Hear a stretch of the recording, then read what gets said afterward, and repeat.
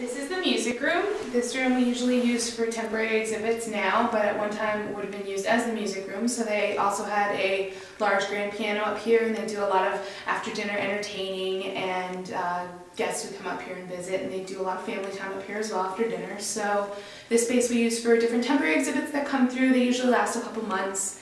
At the moment it's bare, but we will have an exhibit later in the year. We have a lot of items up here that kind of represent the past history of the town a little bit, different items that um, represent the period that the house would have been around. So this fireplace, for example, is one of the largest in the house of the four, and they're all original. Uh, different artwork that's been found locally, books, things like that. This bench that we have over to the side um, is from one of the churches in town, so it was uh, donated to the museum when the church closed. So this is one of the branches that shoots off from the music room. This area we have set up kind of as an office and it kind of gives you an idea of some of the items that we have that are original to the home. So we have quite a few items that were original to Harry Oakes. So the desk down here would have been downstairs in his office that's in the front entrance. Um, it's unique kind of a roll top desk, very different from the ones you see now because they're quite a bit taller. Um, old typewriter, kind of representing the time that he would have had it. We have a standing ashtray over here. His couch, which while its age is a little older, it's uh, holding up pretty good. Uh, radio over here that belonged to the chateau as well. This section we also use to highlight a little bit of the local policing history. So we highlight the Kirkland Lake Police Force, which ended its run in the 90s when the OPP came into town.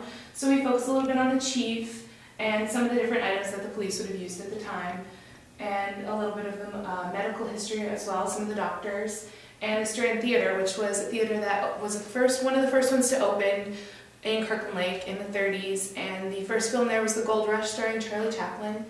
And um, there's photos from the interior, which a lot of people remember. The building was lost in a fire in 1986, so it uh, kind of represents the local history there as well. So this is another shoot off from the music room. This is actually one of the favorite areas for kids because of the phone booth we have over here. When you close the door, the light comes on and kids kind of get a kick out of the phone that's in there because it doesn't have dials like most of the ones you have today. We have an old switchboard over here which uh, a lot of younger people find interesting because of all the cords you have to pull to uh, connect calls at different places like a hospital would have had at one time.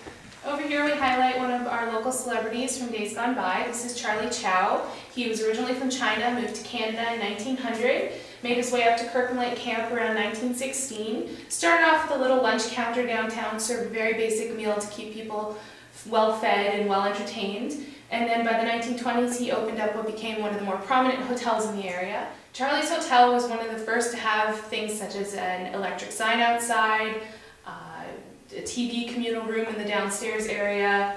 We have quite a few items from the hotel itself here, different uh, checkbooks, uh, ordering books for food, the keys to the rooms, and some of the more significant items we have are the guest registries such as this. This is only one, but we have a dozen or so, and they all list the individuals who stayed in Charlie's Hotel at individual periods. So we have some ranging from the 20s all the way up to the 40s, and we have this wide range of people who came and stayed in the Kirkland Lake camp during that period.